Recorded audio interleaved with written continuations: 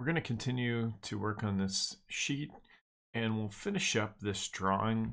We haven't focused at all on the formatting of the sheet and we can change the information on the title block here and how the sheet's laid out individually. So let's right click the sheet and we're going to click edit sheet format. You can see the title block is now blue and we can zoom right in on that section and you can pan over so you can see it a little bit nicer. If you zoom in on the tolerance specifications, we can double click and that should all be highlighted. We're going to delete the fractional, so you can just drag your mouse over and delete.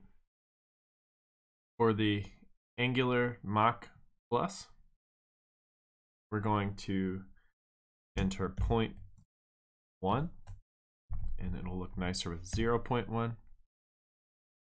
In the text format panel, all the way over here, move that out of the way. We want to add a symbol. So right here is add the symbol under text format. And we're going to add the degree. All we really need here are the two decimal places and three decimal places. So for the bend, I'm going to get rid of that. And for the two decimal place, I'm going to put 0 0.01. And for the three decimal, I'll put 0.003.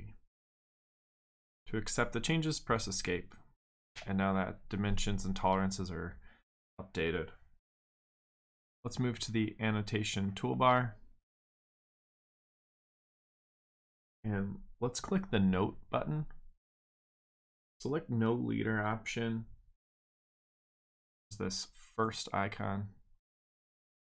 And we're going to drop this right into the material box. And here we can type in 1060 alloy.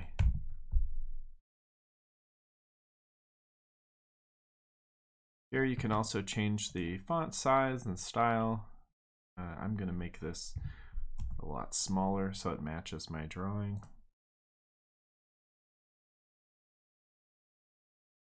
You can click and drag your note. If you hold Alt, it'll allow you to freely move it instead of snapping into those positions.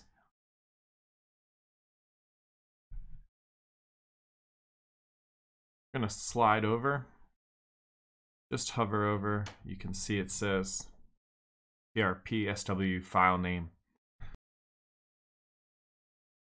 And let's say I decide to save this and I hit file, save as, and I'll change this to MET 3002 and I'll add a description here. We'll call this U bracket design. And then I'll hit save. You can see my uh, part changed up here. And we'll rebuild. If yours don't update after changing your model, you should be able to update by clicking link to property. And it's looking for the current document. I'm going to select a model found here and I'm looking for MET 3002 and the property name. This is going to be the file name. So here we can see that it's adding. So if you need to adjust your values, you can definitely do that. And I'm going to just make sure I get that lined up pretty nicely. Right, and now that should be ready to go. If you need to adjust the style and size, when you click on your font here, you can select font on the left side. And let's change the size to points. And let's use 16. That fits a little bit nicer. All the way up at the top, we're going to find File Properties. And we'll hover over to the custom tab. And let's look at our format size here and all the properties. Type A containing description, and we'll make sure that it's a text. So we'll call this description, and this will be text. We'll also type in one called company name. This will also be text, and I'll just call this PVCC. and let's hit OK. Now we can add these to our title block and we can see that PVCC added right at the top here. This is already company name. Under the drawn by, just by creating a new property.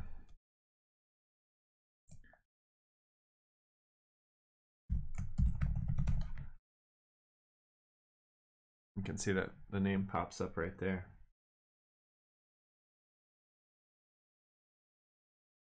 You need to find one that's already existing. We'll just hover over and we can go back to our properties we'll say drawn date and we'll say today. And we can see that pops right in there. And we just right click and edit sheet to go back into our uh, drawing views. Know that this is linked to your drawing and your model. So whatever you change in your model is going to adapt here once we hit build. So you can show your annotations, change something in the drawing, and then save it. And then you'll go back to your sheet and then click rebuild and your drawing in part will change automatically. Don't forget to save.